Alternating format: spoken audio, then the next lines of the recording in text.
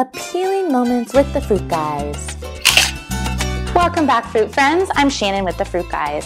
Thank you for joining us as we talk about the soft and the delicately sweet apricot, a tantalizing fruit with hundreds of varieties to choose from. The apricot is admired for their velvet qualities and delicate silhouette.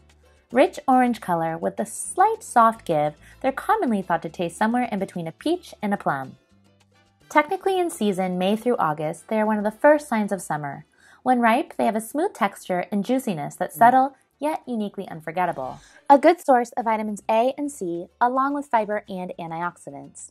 Originating in China, the apricot tree came to Virginia in the 1720s. The trees made their way to the Spanish missions of California around 1792, where the sunny climate suited their needs perfectly.